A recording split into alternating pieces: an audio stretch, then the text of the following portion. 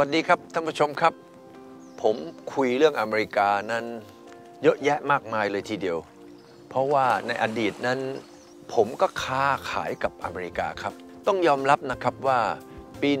1978 ที่ผมเดินทางไปอเมริกา ครั้งแรกในชีวิตเพื่อที่จะไปขายปลากระป๋องครับ แล้วก็ปี 1980 เป็นต้นมานั้น ผมก็ได้ทำธุรกิจใหญ่มโหฬารเลยกับอเมริกา ก็คือเรื่องของทูน่าครับ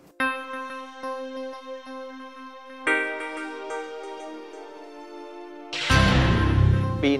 1980 นั้น ประเทศไทยนั้นมีสัดส่วนของตลาดในอเมริกา เกี่ยวกับทูน่านั้นยังไม่ถึงครึ่งเปอร์เซ็นต์แต่ตอนหลังมานี่เรายึดตลาดในอเมริกาแล้ว เป็นเพราะนโยบายของรัฐบาลอเมริกันนะครับ ที่จะส่งเสริมพวกอุตสาหกรรม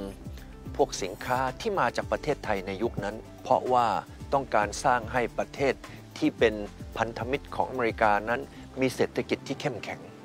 อันนั้นเป็นตัวอย่างตัวอย่างหนึ่งที่ทำให้เกิดการพัฒนาประเทศ ในประเทศที่เป็นพันธมิตรของอเมริกาทางด้านเศรษฐกิจที่แข็งแรงขึ้น เมื่อเศรษฐกิจแข็งแรงขึ้น ก็ร่วมมือกับอเมริกานั้นต่อต้านคอมมิวนิสต์โดยปริยาย อเมริกานั้นมีนโยบายต่อต้านคอมมิวนิสต์ตลอด แต่วันนี้โดนัลด์ทรัมป์ซึ่งกลายมาเป็นประธานาธิบดีคนแรกของอเมริกา ผมคิดว่าจะกลายเป็นคนที่จะ เชื่อมความสัมพันธ์กับรัสเซียอย่างที่ไม่เคยเกิดขึ้นมาก่อนในประวัติศาสตร์ เพราะว่าโดนัลด์ทรัมป์นั้น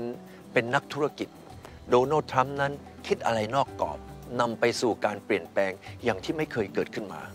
นั่นก็เป็นสาเหตุที่ทำให้โดนัลด์ทรัมป์นั้น ประสบความสำเร็จในการเป็นประธานาธิบดีของอเมริกานั่นเอง เราลงมาคุยกันนะครับว่าเหตุใดโดนัลด์ทรัมป์ถึงประสบชัยชนะ ซึ่ง ในความเป็นจริงครับท่านผู้ชมครับ ผมเคยถามคนอเมริกันก่อนเลือกตั้งประธานาธิบดีที่ผ่านมานั้น ไม่เห็นมีใครจะเลือกโดนัลด์ทรัมป์เลยสักคนเดียว มันเป็นเรื่องที่แปลกนะครับว่าถึงเวลาวันเลือกตั้งจริง ๆ ขึ้นมานั้น โดนัลด์ทรัมป์เกิดชนะฮิลลารีคลินตันเหตุผลต้องคืออะไรครับ วันนี้เราคงต้องมาวิเคราะห์กันดูว่าทำไมคนที่มีประสบการณ์ อย่างฮิลลารีคลินตันอยู่ในวงการการเมืองมาพ่ายแพ้ต่อโดนัลด์ทรัมป์เหตุใดที่เฮเลอรี่คลินตันนั้นมีที่ปรึกษาส่วนตัวคืออดีตประธานาธิบดีบิลคลินตันผู้ที่ประสบความสำเร็จในการเมืองอย่างมหาศาลเหลือเกิน สนับสนุนยังแพ้ได้ แล้วเหตุใดเล่าครับ วันนี้ประธานาธิบดีโอบามานั้น ก็สนับสนุน เฮเลอรีคลินตัน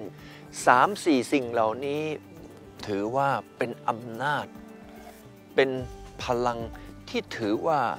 ต้องชนะโดนัลด์ทรัมป์อย่างแน่นอน เราคงต้องไปคุยกันคราวหน้าแล้วล่ะครับว่า สิ่งที่โดนัลด์ทรัมป์เป็นนักการตลาดมือหนึ่งของโลกเลยทีเดียวถ้าว่ากันในงานนี้นะครับ มองออกเลยว่า ปัญหาของอเมริกามีอะไร แล้วเขานำปัญหาตรงนั้นแหละครับ มาเป็นจุดขาย เราคงต้องไปคุยกันต่อคราวหน้าแล้วล่ะครับ ขอบพระคุณทุกท่านครับ สวัสดีครับ